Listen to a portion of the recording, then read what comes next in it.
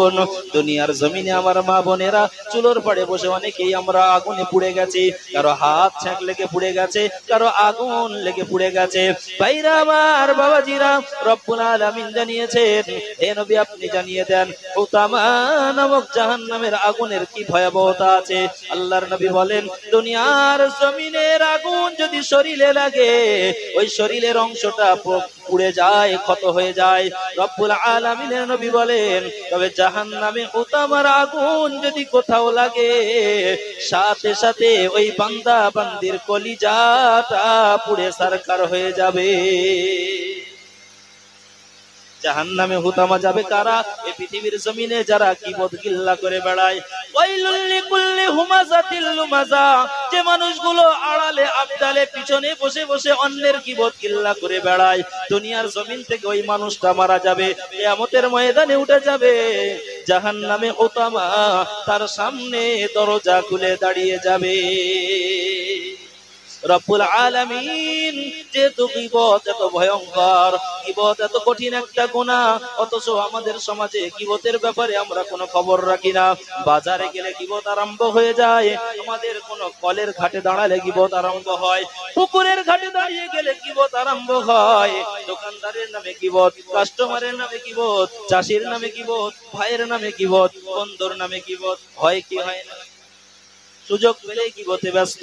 আমার ভাইরা, এই গিবত হারাম করা হয়েছে? হজরতে আবু বাকার হজরতে অমর ফারুক রাদিয়াল্লাহু তাআলা আনহুর জীবন থেকে একটা ঘটনা আল গীবাতু আশাদ্দু মিনাজ জিনা বিশ্ব নবী বলেন গীবত এত ভয়ঙ্কর গুনাহ। পৃথিবীর জমিনে জেনাকারকে আমরা ঘৃণা করি। রব্বুল আলামিনের নবী বলেন, আল্লাহর নজরে একজন জেনাকারের চাইতে গীবতকার গীবতকারিনী পুরুষ নারীরাই আল্লাহর কাছে বড় ঘৃণিত। বুঝতে পারছেন? যারা গীবত করে, জেনাকারের থেকে নিকৃষ্ট আমার আল্লাহর নজরে। অথচ অনায়াসে অনেকে গিবত করে। এই গিবত হারাম হয়ে গেল কখন থেকে? পরচর্চা, পরনন্দা হারাম হয়েছে উম্মতে মুহাম্মাদির উপরে কখন থেকে? আল্লাহর নবীর দুইজন সাহাবী, হযরতে আবু বকর নাম শুনেছেন না, শুনেন নাই? শুনেছেন না, শুনেন নাই? হযরতে ওমরের নাম শুনেছেন না, শুনেন নাই? হযরতে আবু বকর ওমর ফারুক রাদিয়াল্লাহু তাআলা আনহু আজমাইন। দুইজন সাহাবী বললেন, ইয়া রাসূলুল্লাহ, ইয়া হাবিবাল্লাহ, আমরা একটা গোলাম কিনতে চাই। আবু একটা গোলাম কিনবে, ওমর একটা গোলাম কিনবেন। এমন সময় দুইজনের আলোচনা হলো। গোলাম সন্ধান করে গোলাম পাওয়া যায় না, একটা গোলাম পাওয়া গেল। আল্লাহর নবীর সাহাবী আবু বকর বলেন, ইয়া রাসূলুল্লাহ, ইয়া হাবিবাল্লাহ, একটাই গোলাম পেলাম, ওমর গোলাম কিনতে চাই কিন্তু গোলাম তো একটা আল্লাহ নবীর সাহাবী, দুইজন আলোচনা করলেন, ও আবু বকর, তুমি যদি অনুমতি দাও, আমরা দুইজন মিলে একটা গোলাম কিনবো। দুজন মিলে একটা গোলাম। দুইজন মিলে একটা গোলাম কিনবো। আমাদের দুইজনের যতটুকু প্রয়োজন গোলামের দ্বারা আমরা মিটিয়ে নেব। তাই না আমার বাবাজিরা, একটু ধ্যান দিয়ে শুনে রাখেন। কিবত করা কত ভয়ঙ্কর, কিবত করা কত খারাপ। অথচ আমাদের জীবনে এই কিবতের অপরাধ আছে। মরণের পরে আপনাকে যেতে হবে হোতামা নামক জাহান নামে মনে রেখে দেবেন। আপনি যদি ভুলে যান, তবু আমার আল্লাহ পাকের ফারিস তারা স্মরণ করিয়ে আপনারে ওই জাহান নামে হোতামার ভিতরে ঢুকাবে। হযরতে আবু বকর হজরতে ওমর রাদিয়াল্লাহু তাআলা দুইজন সাহাবী মিলে একজন একজন গোলাম কিনলেন, একটি গোলাম কিনলেন। কিন্তু গোলাম একজন, মানুষ দুইজন। হজরতে ওমর ফারুক রাদিয়াল্লাহু তাআলা আনহুর সঙ্গে গোলাম বাড়িতে চলে গেলেন। বাড়িতে যাওয়ার পর আল্লাহর নবী সাহাবী ওমর বলতেছেন, গোলাম, বসে থেকে সময় নষ্ট করে লাভ নাই। খানার ব্যবস্থা করা আছে, সকালের খানা খাও। তাড়াতাড়ি করে আবু বকারের বাড়ি চলে যাও। আমি অমরের চাইতে আবু বকারের গোলামের প্রয়োজন বেশি আছে। কিনলেন দুইজন, একজন খানা খাইয়ে দিয়ে আর একজনের বাড়িতে কাজের জন্য পাঠিয়ে দিলেন। হজরতে আবু বকর জিজ্ঞাসা করলেন, ও গোলাম, ওমরের বাড়িতে কি এমন কাজ করলে এত তাড়াতাড়ি চলে এলে? গোলাম বলতে লেগেছেন, মনিব, ও আবু বকর, আমার মনিব শোনেন, আমি ওমরের বাড়িতে গিয়ে কোনো কাজ করি নাই। সাথে সাথে যাওয়ার সঙ্গে সঙ্গে আমার মেহমানদারি হয়ে গেল। আবার ব্যবস্থা করে দেওয়ার পর আমাকে বললে, গোলাম দেরি করিস না রে বাবা, চলে যা, আবু বকারের বাড়ি আমার থেকে তার প্রয়োজন বেশি। এই জন্য আমি আপনার বাড়িতে এসে উপস্থিত হয়ে গেলাম। আল্লাহর নবীর সাহাবী আবু বকর বললেন, ও গোলাম, ওমর আমার উপরে ইহসান করতেছে, তুই দেরি করিস না। তাড়াতাড়ি দুপুরের খাওয়া খাও আর ওমরের বাড়ি চলে যাও। আমি আবু বকরের চাইতে ওমরের গোলাম প্রয়োজন বেশি। একবার সকালে খানা, আবু বাকারের বাড়ি চলে যাও। আবু বাকার দুপুরের খানা, ওমরের বাড়িতে চলে যাও। ওমরের বাড়িতে আসার পর হজরতে ওমর বলতেছেন, গোলাম, এত তাড়াতাড়ি চলে এলে কি কোনো কাজ করলে না? বললেন, না হুজুর, আপনি যেমন খাইয়ে পাঠিয়ে দিলেন, উনিও খাইয়ে আপনার কাছে পাঠিয়ে দিয়েছে। ডাক দিয়ে বললে, গোলাম, আমি ওমরের এত তাড়াতাড়ি গোলামের প্রয়োজন লাগবে না। যখন প্রয়োজন হবে আমি নিয়ে নেব। এখন তুমি আবার বিকালের খাবার খাও, চলে যাও হজরত আবু বাকারের বাড়ি। বিকালের খাবার খেয়ে আবু বাকারের বাড়ি। আবার বিকালে যখন পৌঁছে গেলেন হজরতে আবু বাকার বললেন, রাতের খাবার খাও, ওমরের বাড়িতে চলে যাও। ভাইরা আমার এবার একটু মস্তিষ্ক কাটিয়ে বলেন, এই মানুষটা গোলাম না মালিক? সকালে খাওয়া, দুপুরে খাওয়া, বিকালে খাওয়া, রাতে খাওয়া। গোলামের খাওয়াই সময় চলে গেল, কাজের কথা মালিক চিন্তা করে না। কিন্তু মনে রাখবেন আমার বাবাজি, আব্বাজিরা, আমার ভাই বোনেরা, মনে রাখবেন, একটা গোলামের সঙ্গে আপনি আচরণ করতে হবে এমন না। তিনারা এই জন্যই তাকে খাটাতে চাইতেন না। তাদেরকে মহাব্বত করে, তাকে মেহমানদারি করে খুশি রাখতে চাইতেন। আমাদের ময়দানে ওই গোলাম আমি আবু বকারের বিরুদ্ধে, ওই গোলাম আমি ওমরের বিরুদ্ধে জানি এমন কোন শিকায়ত না করে। ও আল্লাহ, আবু বকর ওমর আমাকে গোলাম কিনে নিয়েছিল, কিন্তু এমন ভাবে আমার উপরে জুলুম, অত্যাচার করে প্রেসার করে কাজ করাতো। ও রব্বুল আলামিন, আল্লাহ, দুনিয়ার মালিক ওরা হওয়ার কারণে আমি জবাব দিয়ে করতে পারি নাই। আজকে তাদের কাছ থেকে আমি আল্লাহ তোমার কাছ থেকে বিচার চাই। এই কথা যেন কিয়ামতের ময়দানে আবু বকর ওমরের বিরুদ্ধে যেন বলতে না পারে জোরে বলেন। অথচ বর্তমান সময় একটা মজুর যদি আমি আনি, তিনশো, চারশো টাকা দামের, পাঁচশো টাকা দামের একটা মজুরি। কোন সময় কাজে এলো ঘড়ি দেখি, খাওয়া দেওয়াতে আমরা লেট করে দেই। কাজে যদি লেট করে, খাবার দিতে লেট হয়। কাজে যদি লেটে আসে, কাজ ছাড়াতে লেট করে দেই। এবং এমন কি অনেক মানুষ আমরা আছি, ওই গোলাম, ওই কাজের লোকটার কাজ যাতে কম না হয়, নামাজ বাদ দিয়ে তার পিছনে চৌকি পর্যন্ত দিই। যতটা সময় কিনে নিয়েছে, একেবারে পুরো চুষে ধুয়ে ওরে পাগল বানিয়ে বাড়ি পাঠাবে ও অন্তত কোম্পানির কাছে গিয়ে বলবে, জীবনে যাই কাজ দাও না কেন, অমুকের বাড়ি আর পাঠাবে না। বলবে না, বলবে আছেন এমন এটা পরিবর্তন করতে হবে। আপনি যেমন একটা গোলাম নিয়ে আসছেন, একটা চাকর নিয়ে আসছেন, কাজের লোক নিয়ে আসছেন, এমন ব্যবহার করুন, তার কাজের জন্য রেখেছেন, কাজ করুক। এমন দুর্ব্যবহার না হয় যে আপনার ওই আচরণ এসে যেন অতিষ্ঠ না হয় আল্লাহ নবী সাহাবী হযরতে ওমর হযরতে আবু বকরের দুইজনের একজন গোলাম। কাজ নেই, খালি খাওয়া আর খাওয়া। একটা মানুষ সকাল সন্ধ্যা খালি খায় আর ঘুরে বেড়ায়। অলসতা আসবে না আসবে না। অলস বানিয়ে যাবে এমনি। যখন এই গোলাম কিনতে ছিল বিশ্ব নবী মানা করেছিলেন, ও আবু বাকার, ওমার, গোলামটাকে কিনো না। যখন নিষেধ করা হয়েছিল, আল্লাহর নবী সাহাবীরা বললেন, ইয়া রাসূলুল্লাহ, দুইজন দুটো গোলাম কিনবো বলেছিলাম। গোলাম যখন পাওয়া গেল না, একটাই পাওয়া গেল। আপনি নিষেধ করবেন না, আপনি আদেশ করুন, আমরা কিনে নেই। আমাদের দুইজনের অল্প অল্প করে একটু খিদমত করে নেবে। কিছুদিন পর আল্লাহ রসুল বললেন ওমর ও আবু বাকার, একটা সফরে বার হওয়া হবে। সফরের সাথে তোমরা দুইজন থাকবে, সঙ্গে গোলামটাকেও নিয়ে নিও। প্রয়োজনে গোলামটার কাজে লাগানো যাবে। অনেকগুলো সাহাবিদেরকে নিয়ে বিশ্ব নবী একটা সফরে বার হবেন। গোলাম সঙ্গে যাবে, আবু বাকার অমর সঙ্গে যাবেন। এমন সময় সফরে সকালবেলা রওনা দেবে। আল্লাহর নবীর সাহাবি ওমর বললে, ও গোলাম, একটা পোটলা তুমি তৈরি করো। আমার একটা পোটলা আবু বকারের পোটলা আবু বকার তৈরি করে নেবে। তবে হয়তো আমাদের পোটলা গুলো তোমাকে কাল বয়ে নিয়ে যেতে হতে পারে। যেহেতু তুমি গোলাম, কাজ করবে। কাল তোমার একটু কাজ দেওয়া হবে। আমাদের পোটলা গুলো বয়ে নিয়ে। আল্লাহর নবীর সাহাবী হযরতে ওমর ফারুক রাদিয়াল্লাহু তাআলা আনহুর কথা শুনে গোলাম, একটা পোটলা বেঁধে নিল। হজরতে অমরে ফারুক একটা পোটলা বেঁধে নিলেন। এমন সময় অমরে ফারুক সকালে যখন রওনা দেবেন, সাহাবি হজরতে অমর নিজের পোটলাটা কাঁধে নিলেন আর গোলামেরটা হাতে নিলেন। গোলামের পোটলা গোলামকে বইতে দিচ্ছে না। জোরে বলেন সুবহান গোলাম অবাক হয়ে গেলেন, মুনি আমাকে কাজের জন্য কিনলেন অথচ আমার পোটলা আমার আমার বোঝা আমাকে বইতে দিচ্ছেন না। আল্লাহর নবী সাহাবী ওমর বললেন, ও গোলাম, যখন সময় হবে তোমাকে দিয়ে কাজ করিয়ে নেব, চিন্তা করো না। পোটলাটা আমার হাতে দাও। যখন সফরে বার হয়ে গেলেন, রাস্তার ভিতরে হযরতে আবু বকরদের সঙ্গে যখন সাক্ষাৎ হয়ে গেল, আল্লাহর নবীর সাহাবী হযরতে আবু বকর বলতেছিলেন, ও আমার তুমি একটা মানুষ, দুইটা পোটলা তোমার কাছে কেন? ওই সময় ওমর বলেছিলেন, আমার ভাই আবু বকার শোনেন, এই দুইটি পোটলা একটা আমার আর একটি আমার গোলামের। বললে আবু হজরতে আবু বকার বললেন, ওমার, গোলাম কিনেছি দুইজন। আর গোলামের পোটলা তুমি একা বইবে কেন? আর একটা ডাং আমার হাতে দাও। জোরে বলেন বিশ্ব এ পৃথিবীর জমিনে প্রথম খলিফা হযরতে আবু বকর রাদিয়াল্লাহু তাআলা আনহু, হযরতে ওমর ফারুক দ্বিতীয় খলিফা, তেনারা এত বড় মাপের মানুষ হওয়ার পরেও গোলামের পোটলা বয়ে বেড়াচ্ছে। কিয়ামতের ময়দানে যেন আমার আল্লাহর কাছে উত্তম প্রতিদান পাওয়া যায়।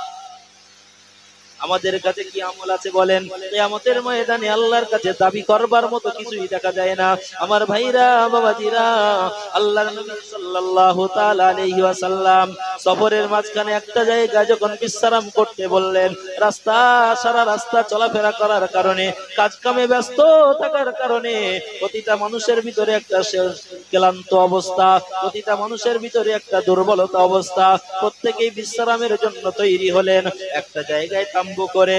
আল্লাহ নবীর দুইজন সাহাবি হজরতে আবু বাকার হজরতে ওমার তিনারা ছিলেন দায়িত্ব প্রাপ্য হিসাব রক্ষক দুইজন সাহাবী। দুইজন সাহাবী ওই সফরের সম্পদের একটা হিসাব, সমস্ত কিছু ওনাদের কাছে ছিল।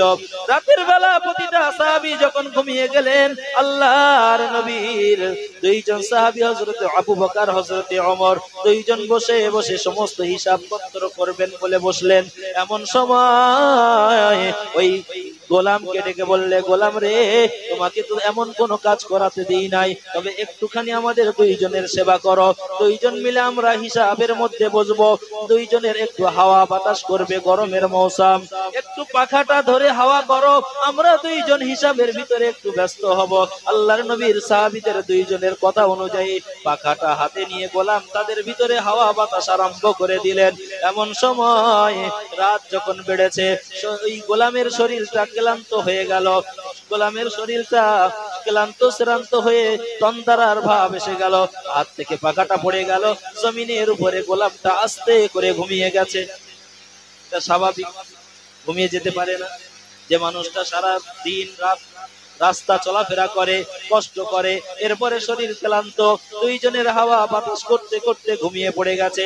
এমন সময় দুইজন সাহাবী হজরতে আবু বকর হজরতে ওমর, দুইজনের হিসাব শেষ হয়ে গেল। হঠাৎ দেখা যায় গোলামটা ঘুমিয়ে পড়ে আছে। হজরতে ওমর দেখে বললেন, আবু বকর, একটা গোলাম কিনলাম দুইজনের একটু হাওয়া বাতাস দেওয়ার জন্য।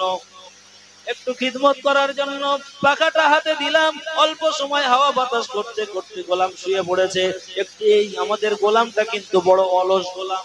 কি গোলাম? অলস গোলাম। একটু হাওয়া করতে বললাম, সকালে দুপুরে সন্ধ্যা রাতে শুধু খেয়ে সময় কেটে গেল। হাওয়া বাতাস করবার একটু সময় দিলাম, সেই খিদমত টুকু করল না, শুয়ে পড়েছে। এই দুইজনের আলোচনার মাঝখানে আমার রবের নজর আছে না নাই? আছে না নাই? আল্লাহ রাব্বুল আলামিন দুইজনের এই আলোচনা শুনছেন না শোনেন নাই? রব্বুল আলামিন আলোচনা শুনলেন, শোনার সঙ্গে সঙ্গে জিবরিল আমিন পাঠিয়ে দিলেন বিশ্ব নবীর কাছে। আসসালামু আলাইকা ইয়া রাসূলুল্লাহ, আসসালামু আলাইকা ইয়া হাবিবাল্লাহ, ইয়া আইয়ুহাল্লাযীনা আমানু জতানিবু কাসীরাম। من الظن إن بعد الظن إثم ولا تجسسوا ولا يغتب بعضكم بعضا أيحب أحدكم أن يأكل لحم أخيه ميتا فكرهتموه জোরে বলেন আল্লাহু আকবার রব্বুল আলামিন এই আয়াত নাযিল করলেন বিশ্ব নবীর উপরে আপনার দুইজন অমর আর আবু একটা গোলাম কিনেছিল। গোলামকে করতে দেওয়া হয়। কিন্তু গোলামটা করতে করতে ক্লান্ত, শ্রান্ত হয়ে নিদ্রা তন্দারা আসে, নিদ্রায় চলে যায়। এমন সময় দুইজনের হিসাব শেষ হয়ে গেল। এবং অমর বসে বসে ওই গোলামের ব্যাপারে কিবত আরম্ভ করেছে? গোলামটা অলস, গোলামটা খায় আর ঘুমায় আর কিছুই করতে পারে না। একটু বাতাস দিতে বললাম, তাও পারল না। ওই গোলামের বিরুদ্ধে এইভাবে আলোচনা পরনিন্দা শুরু করে দিয়েছে। আমি আর রব্বুল আলামিনের নজরে, আমি আমি বলতে চাই যে মানুষটা পৃথিবীর জমিনে কারোর নামে এইভাবে কিবত গিল্লা করে। আমি আল্লাহ জানিয়েছি, ওই মানুষটা সে যেন কিবত করে নাই, সে যেন নিজের মরা ভাইয়ের গোস্ত খেয়েছে। সে যেন নিজের মরা ভাইয়ের গোস্ত খেয়েছে। এই কথাটা কার কাছে এসেছে? আল্লাহর নবীর কাছে। সকাল হয়ে গেল। সমস্ত সাহাবিদের জন্য যখন খাবারের ইন্তজাম করা হয়েছে বিশ্ব নবী এবার গোলামকে ডেকে বললেন, গোলাম, তোমাকে খিদমতের দায়িত্বটা দেব। গোলাম বড় খুশি, ইয়া রাসূলুল্লাহ, আপনি দায়িত্ব দিলে আমি পালন করব। আল্লাহর নবী বললেন, আমার সাহাবীরা যখন খেতে বসবে, প্রত্যেক সাহাবীর প্লেটে প্লেটে রুটি পৌঁছিয়ে দেবে। তবে এক এক করে প্রত্যেকের পৌঁছিয়ে দেওয়ার পর কস্তর প্লেটটা বিশ্বনবী হাতে ধরিয়ে দিলেন।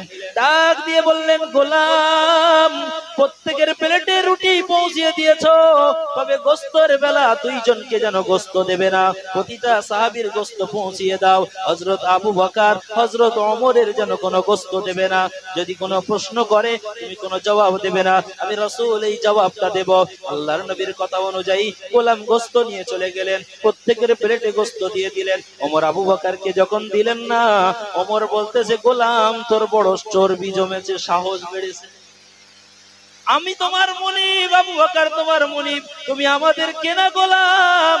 সবাইকে কষ্ট দিলে আমার সঙ্গে ফাজলামি করো নাকি? বলবে না বলবে না।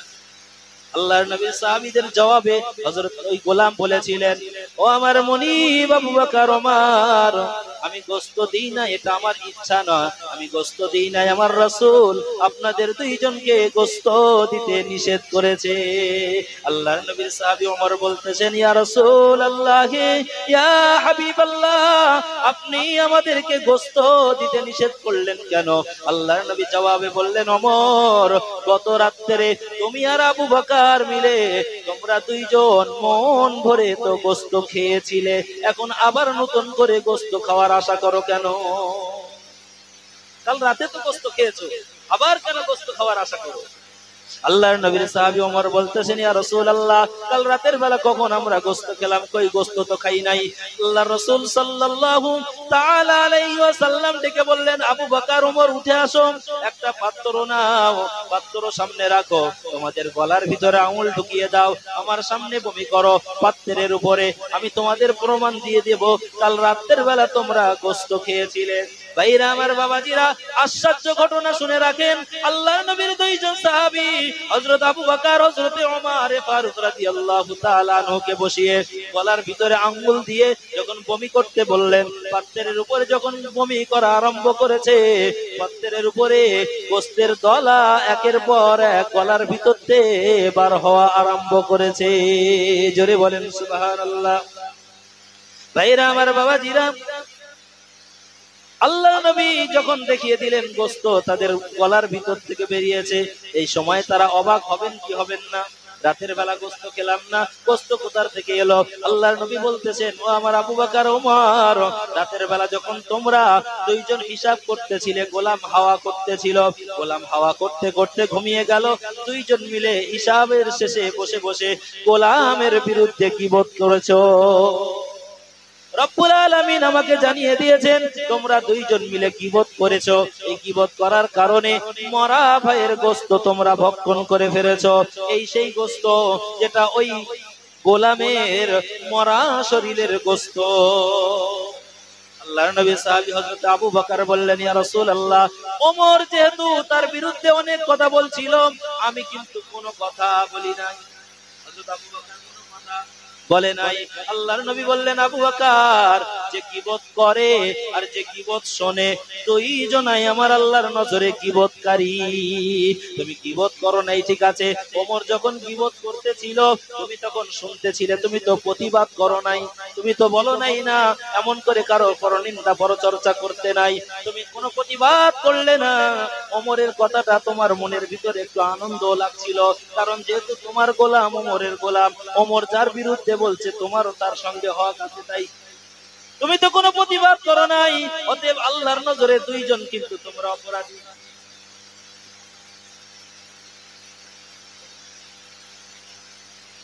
ভাইরা, আমার বাবাজিরা। সময় তো কম, তার মানে জবাই করার আগে চিন্তা হচ্ছে, রান একটা দেবো কোনো এসার ভিতরে চারটে হুজুর, তিনটে হুজুর থাকবে। এজন্য যাই হোক লম্বা চওড়া নয় কিবোধ করা যাবে না। কেউ করলে শোনা যাবে না। দুজনাই অপরাধী সমান। আল্লাহর নবী সাহাবী হযরত ওমর বললেন, ইয়া রাসূলুল্লাহ, এখন উপায়? বলে উপায় কি? হুতামা নামক জাহান্নাম তোমাদের দুইজনের নামে বরাদ্দ হয়ে গেছে। গীবত করলে হুতামায় যেতে হবে। আল্লাহর কোরআন বলছে, দুইজন সাহাবীকে যখন আল্লাহ রাসূল এভাবে বললেন, দুইজনের জন্য হুতামার জাহান্নাম বরাদ্দ। আল্লাহর নবী সাহাবি বললেন, করব কি? বললে, ক্ষমা চাও গোলামের কাছে। অসম্ভব। মনিব গোলামের কাছে ক্ষমা চাওয়া সহজ। বড় ভাই ছোট ভাইয়ের কাছে ক্ষমা চাইতে চাই না। আর গোলাম, কেনা গোলামের কাছে মালিক ক্ষমা চাইবে, এটা অসম্ভব নয়। এই অসম্ভব যখন পরিস্থিতি আল্লাহ নবী সাহাবী বললেন আমরা ক্ষমা চাইব? গোলামের কাছে বললে, যদি জাহান্নাম হোতামা থেকে বাঁচতে চাও, গোলামের কাছে চলে যাও, ক্ষমা চেয়ে আসো। নইলে তোমার তোমার মতো আবু বকর ওমরের আমার আল্লাহর নজরে হোতামার মতো জায়গা পৌঁছাবে, জান্নাতে পৌঁছাতে পারবে দুইজন হাত ধরে ক্ষমা চাওয়া আরম্ভ করে দিলেন। গোলাম দেখলে এই সুযোগ, এক সুযোগে কাজ করে নিতে। সঙ্গে সঙ্গে বললেন, ক্ষমা করব, শর্ত একটা। আপনারা দুইজন আমাকে কথা দেন, জান্নাতে যখন যাবেন, দুইজনের বগল দাবাই করে আমাকেও জান্নাতে নিয়ে ধরে বলেন, সুবহানাল্লাহ। আল্লাহ নবী সাহেব ওমর ফিরে তাকিয়ে বলছেন, ইয়া রাসূলুল্লাহ, গোলাম বলে কি? বলে, তাড়াতাড়ি মেনে নাও, তাহলে তোমাদেরকে ওই জাহান্নামে হুতামায় যেতে হবে। দুইজন সাহাবী বললেন, আমরা মেনে নিলাম, শর্ত, তুমি আমাকে ক্ষমা করে দাও। সঙ্গে সঙ্গে গোলাম ক্ষমা করে দিলেন। আল্লাহ রসুল সাল্লাম বললেন, আবু বকর ওমর তোমাদের জন্য জাহান্নাতে, জাহান্নামে হুতামা হারাম হয়ে গেছে, জান্নাত তোমাদের জন্য হালাল হয়ে গেছে। জোরে বলেন, সুবহানাল্লাহ। এজন্য আমরা গিবত কিল্লায় থাকব না, পরনিন্দা পরচর্চায় থাকব না। অমর আবু বকরের মতো জলিল কাদার সাহাবি পর্যন্ত একটা অপরাধের কারণে হুতামার দরজায় পৌঁছে যায়। আমি আপনি এজন্য আমাদের অন্তরকে আল্লাহর ভয় এরপরে আয়াত আল্লাহ বলছে রক্তাফুল্লাহ এই কিবত থেকে তোমরা বাঁচার জন্য আমি আল্লাহরে ভয় করো। কারণ তুমি যেখানে কিবত করবে যার নামে করবে, ওখানে কেউ থাকবে সে তো থাকবে না। কিন্তু আমি আল্লাহ তো সেখানে থাকব। আমার কথা তোমরা স্মরণ করবে, জাহান্নামের কথা স্মরণ হবে, কিবত থেকে তোমরা বেঁচে যাবে। আল্লাহ আমাদের কিবতের মতো অপরাধ থেকে যেন হেফাজত করে। আমরা প্রত্যেকেই প্রত্যেকের ভালাই চিন্তা করি, প্রত্যেকের খারাপগুলো যেন আমরা গোপন করে দিতে পারি। আল্লাহ আমাদের তৌফিক দান করেন, আমিন। আলহামদুলিল্লাহি রাব্বিল এখন আমাদের সামনে উপস্থিত হয়ে